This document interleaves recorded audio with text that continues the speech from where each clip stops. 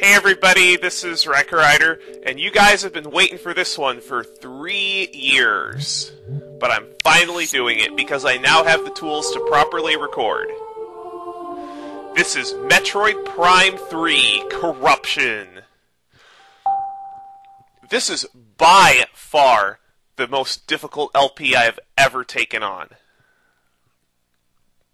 And the reason why that is, is after much deliberation with fans, people I know who have played the game, and a number of other people, I have decided that, like the other two games, I am going to play this on hyper mode.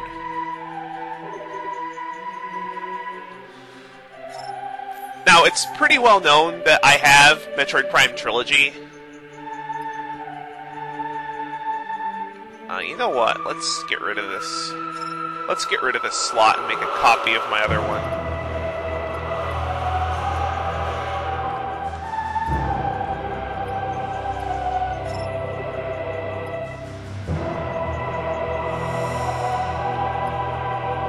I'm aware.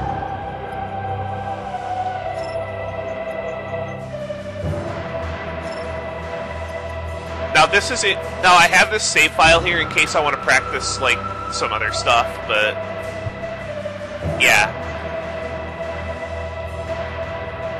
In Metroid Prime 3, if you have a completed save file, uh, you can start a new game with all your save data intact. Like your Yeah.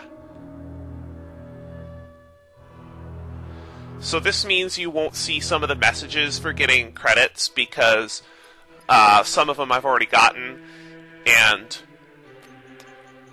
um, yeah, especially the friend vouchers, which I'll get into later, and I'll bring those up. Uh, but we are going to start a new game on. There it is, hyper mode difficulty, the dreaded hyper mode difficulty. Remember how hard Metroid Prime 2 was on hard? Well, Metroid Prime 3 on hyper mode just blows this away. I have tried for a while to beat the game on hyper mode, but I never have.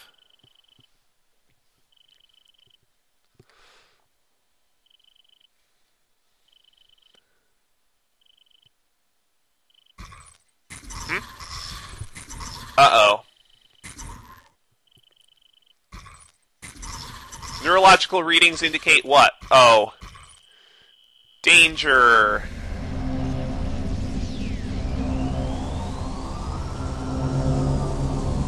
I thought we got rid of Phazon it at the end of Metroid Prime 2, but apparently it's still around for this game.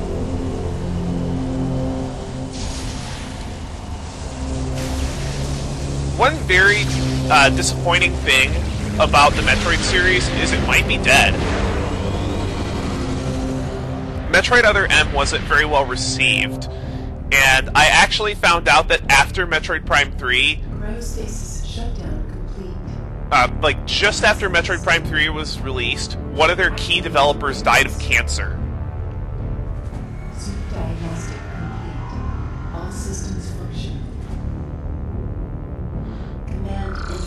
Now, one one really neat thing about Metroid Prime 3 is you spend a lot of time in Samus's ship, so you can actually see the inside of her ship for a change.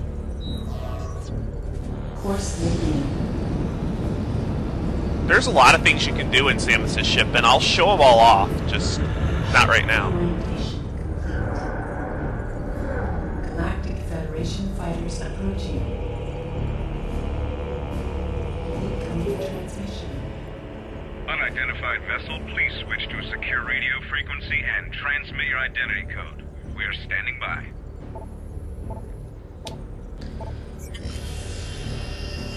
Transmitting the radio frequency is pretty much just matching the images. It does not change from game to game. Transmission verified. Greetings, Samus. We welcome you on behalf of the Galactic Federation.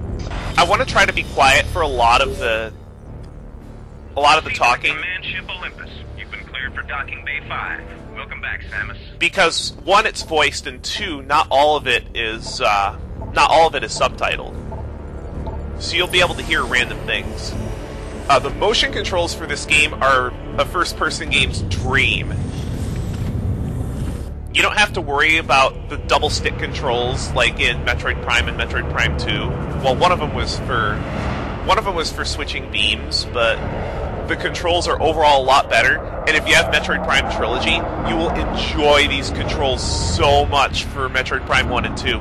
I thought about LPing uh, this game using the Trilogy version, but I'm going to show the original version because there are some graphical changes and I think a couple of uh, AI changes as well. I do want to show off the original game, but after I'm done with Metroid Prime 3, I do have plans to show off a few bonus, like a, make a few bonus videos showing off what Trilogy looks like, as well as the new shop in Trilogy. I'll get to the shop too. So there's going to be a lot of bonus content that I'll make. As you can see, uh, you have a targeting reticule that you can move. Um, that you can move around the screen with uh, pointing the Wii remote at it, and that's how you change direction too. The contr- the joystick is used entirely for strafing, which which makes dodging attacks easier. Well, sort of. Calibration complete. Samus, welcome to the flagship Olympus. Admiral Dane is waiting for you in the briefing room. I will upload the location to you now.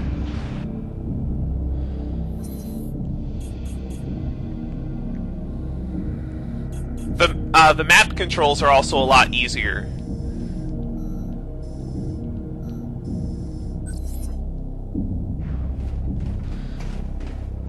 Okay, now a couple things I want to get into before I actually start. Uh, I'm actually going to finally turn the hint system off. Um, one of the one of the really neat things about uh, Samus's visor in Metroid Prime 3 is you see up here the the notches at the top of Samus's visor indicate how much battery power your Wii has or your Wii remote has, so you don't have to pause to figure it out. Uh, I like having the rumble feature off on pretty much every game I play. Um, because of the way the controls are, if you lock onto an enemy, you can still free aim. If you are more of a fan of the Metroid Prime and Metroid Prime 2 controls, you will want to turn this off. This this will lock your aim on the center of the enemy when you lock onto an enemy. Personally, I like it on so that I can lead my shots if I need to. Uh, reverse jump and fire. By default, A fires and B jumps, but if you're more used to like GoldenEye's controls and you want your trigger to be your fire button, I personally don't like it because I can't fire as fast if I have the tr- the trigger this way. Some people like it, but I like it the way it is. Um, sensitivity affects how far you have to move your uh, pointer to be able to turn. I like to leave it on standard. Basic means you'll have to move it all the way to the side to turn, and advanced will will turn you even if you move it the slightest way. I like leaving it at the default. Um, hyper hyper mode I'll get into a little bit later, but normally the minus button brings up the visor select and the plus button goes hyper mode. You can reverse those if you want. Personally, I like them the way they are. There's one more I'll get into. Oh, right, I do need to turn the hit system off. Uh, wherever it is. Uh,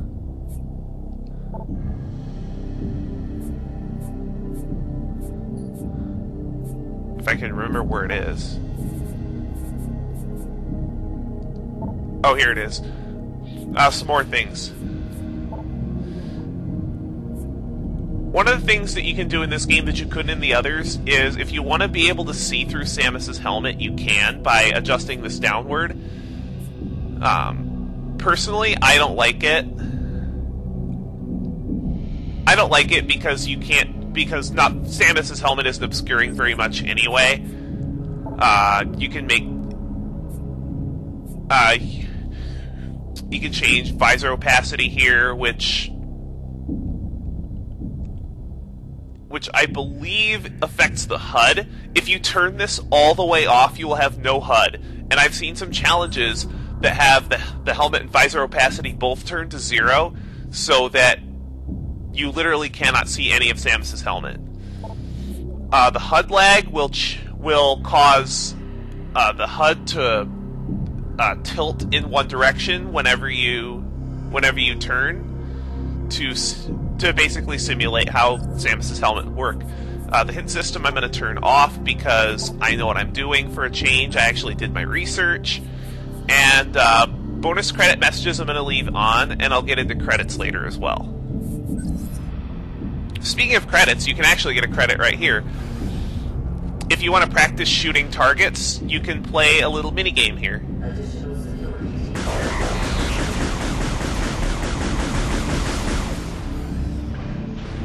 Just shoot this target. Just keep shooting this target while it's in the air. And you can do this for a while. This will. It's kind of entertaining and will keep you busy. Uh, if you get 10 points, you'll get a gold credit, as you saw for juggling bonus 10. There is also a juggling bonus 20 that will give you a friend voucher. I've never gotten it before. Personally, my highest score is 15. But there is a there is a uh, friend voucher available. Uh, what a friend voucher does is it will give you uh, what is it? It will add um, like it's it, they turn into green credits, but in order for them to turn into green credits, you need to send them to someone else on your friends list on the Wii who has the game.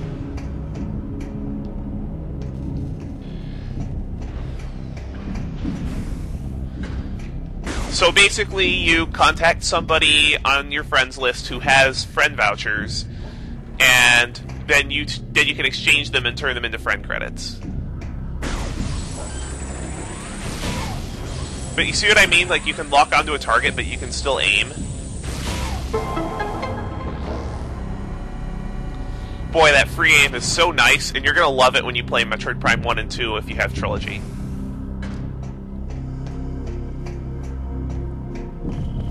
I'm sorry, I'm on duty. I can't talk. Oh, there's some interesting things you can do in this room. If you shoot the uh, G, if you shoot the GF troopers repeatedly, turrets will s- uh, turrets will spawn from out of the ceiling and start attacking you. If you kill those, stronger turrets will will uh, come out and start attacking you. If you can kill those, uh, there will be indestructible turrets that there will be indestructible turrets that will kill you in one hit, and they will lock the room, which I think is kind of amusing.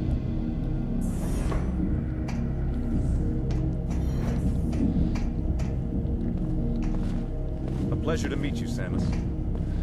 Yeah, there's actually a lot to do in the ship, but uh, but you won't be able to come back here after a certain point in the plot. Uh, the minus button brings up your visor select. Uh, scan visor. Scan visor does what you think it does. Combat visor's in the center, and our command visor's offline. We'll get to our command visor later.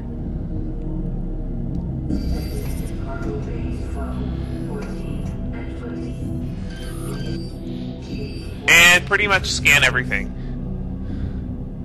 Another new feature is you can actually interact with objects. Oh, I didn't want to put that in. Can I go back? No, I can't. One three five seven six is Samus Aran's ID number. Try not to move during the procedure. We need a stable Is that Gore? Yeah, you can get this scan later, but um, but you can get it now if you're quick. You may proceed. Of course. Yeah, every time you scan, every time you scan something new, like a new enemy or a new lore, you'll get credits. Uh, every time you beat a boss, you'll get credits, and these can be used to uh, to buy things in the shop, like concept art or music, because you can listen to the music in this game, and some of the music is really good. Just stand in the containment pod and stay still.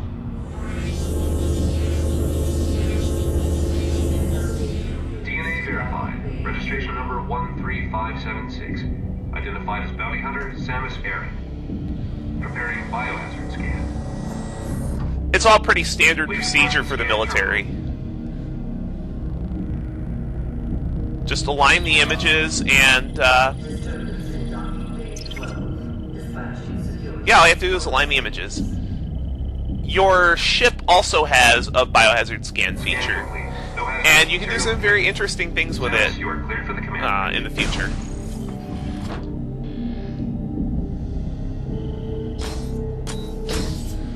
Now, for some of these switches, the motion controls can be a little bit twitchy.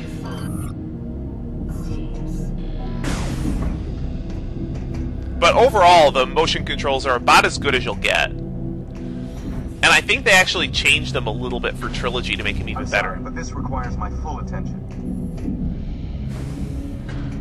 Oh, speaking of jumping, one thing uh, that's really nice about Metroid Prime 3 is you have some of Samus's abilities already. For instance, you already have the charge beam and the space jump, and you never lose them.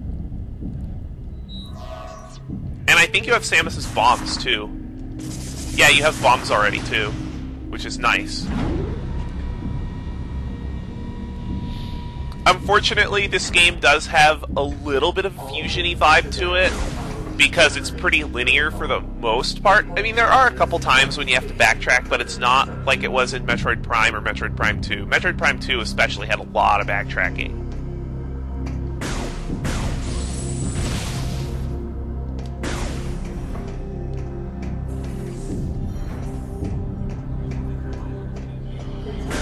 Oh shit, I didn't want to fire at that guy. Yeah, be very careful when you're in here. You can get away with firing a few stray shots, but um, if you hit a GF trooper too many times, you're you're basically dead. Just be careful if you're trying to talk to people.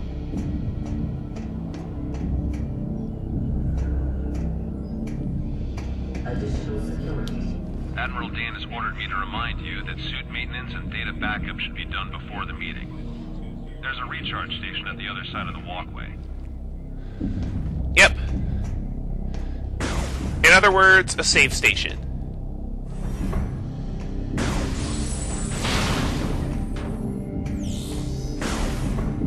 Yep, save station right here. Now, be now for for reasons that I'll get into, uh, probably three or four episodes from now, there aren't a whole lot of save stations. So make sure and use each one. And I actually think this is a good point to cut the video off. So next time on Let's Play Metroid Prime 3 Corruption, we're gonna meet with Admiral Dane and discuss our mission. See you guys later.